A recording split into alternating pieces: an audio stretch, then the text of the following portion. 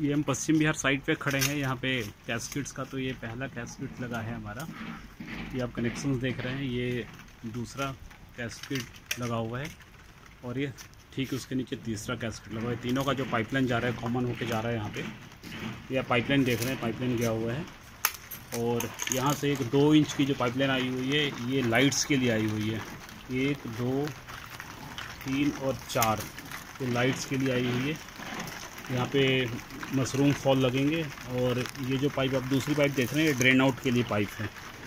तो ये सारा ये अभी कनेक्शन होना बाकी है अभी।